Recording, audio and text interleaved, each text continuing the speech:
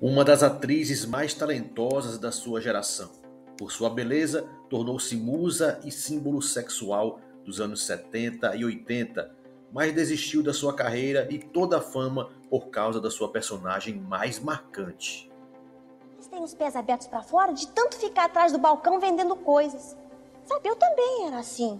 Mas depois eu fui melhorando, melhorando e hoje eu piso para dentro. Nesse vídeo eu vou te contar por que a atriz Reni de Oliveira, a famosa Emília do sítio do Pica-Pau Amarelo, desistiu da sua carreira de atriz, por onde ela anda e o que faz atualmente. Mas antes, peço a você que deixe o seu like e inscreva-se no canal. Vamos agora saber por onde anda e o que faz a ex-atriz Reni de Oliveira. Reni de Oliveira nasceu no dia 28 de dezembro de 1947 em São Paulo, capital. Reni foi uma atriz de TV, cinema e teatro, ficando marcada, ganhando reconhecimento nacional por interpretar por cinco anos seguidos a famosa personagem Emília, a boneca de pano do sítio do Pica-Pau Amarelo. Totocas são as tais caçadas em que só você leva vantagem. Prefiro as histórias da Anastácia. Pelo menos não tentam enganar ninguém. A icônica boneca de pano falastrona e esperta, com certeza foi o papel mais marcante da carreira da grande atriz Reni de Oliveira. A atriz começou sua carreira em 1967, quando desempenhou o papel de Ellen Keller em O Milagre de Anne Sullivan no Teatro Taib. Sua excelente atuação de uma menina cega, surda e muda chamou a atenção e a levou para a TV, onde desempenhou um papel semelhante na novela A Última Testemunha, interpretando a personagem Bibi, em 1968. Depois atuou como coadjuvante em várias novelas e filmes, obtendo destaque especial na novela Éramos Seis, de 1977, com a personagem Carmencita.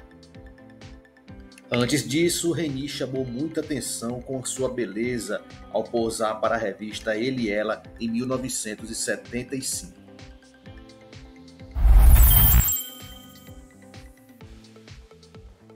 No final de 1977, Reni foi convidada pela Rede Globo, aceitando o convite para ingressar no elenco do seriado Sítio do Pica-Pau Amarelo para interpretar a famosa personagem Emília. Foram cinco anos dando vida de maneira magistral e marcante à esperta boneca de pano falante, que tornou Reni reconhecida nacionalmente. Ao mesmo tempo, a personagem Emília tornou-se uma pedra na vida da atriz, que tomou uma decisão radical por conta disso. Depois que fez Emília, Reni acabou por desistir da carreira artística ao perceber que sua imagem estaria sempre atrelada à personagem que havia interpretado.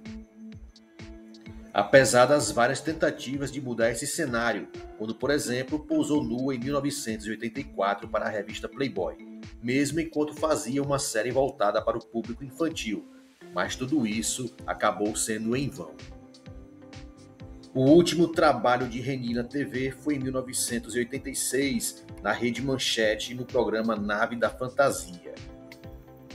E no teatro, seu último trabalho foi na peça Por Debaixo do Lençol, com Lúcio Mauro. Reni mudou-se para os Estados Unidos ainda na década de 80, onde estudou psicologia, casou-se e viveu até o ano de 2006.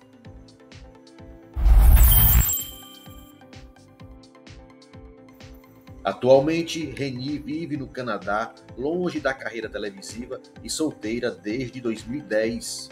Em Toronto, onde mora, recebeu o diploma Masters em Psicologia e Psicanálise e coordena o Shiatsu Therapy Center.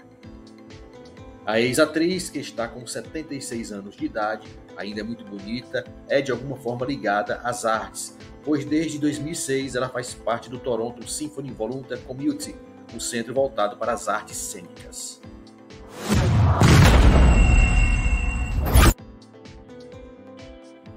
Esse foi um breve resumo da marcante carreira da ex-atriz Reni de Oliveira e de quebra você soube como ela está e o que faz atualmente. Desde já agradeço muito a companhia e peço sempre por aquele apoio. Então deixe o seu like, compartilhe o vídeo com os amigos que gostam de histórias da TV e inscreva-se no canal. Nos vemos em breve. Até a próxima.